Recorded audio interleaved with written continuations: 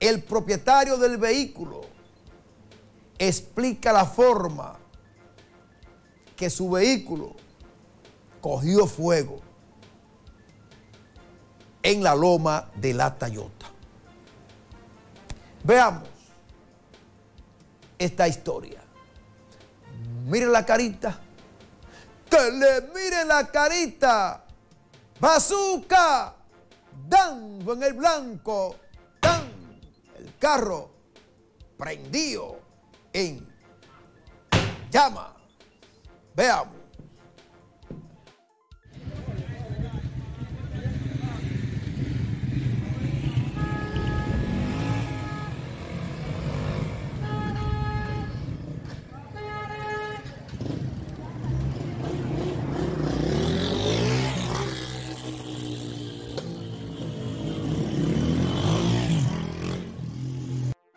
¿Qué fue lo que pasó, mi hermano? Ese vehículo tenía un problemita en la transmisión y se llevó de los primos a cambiarle la transmisión.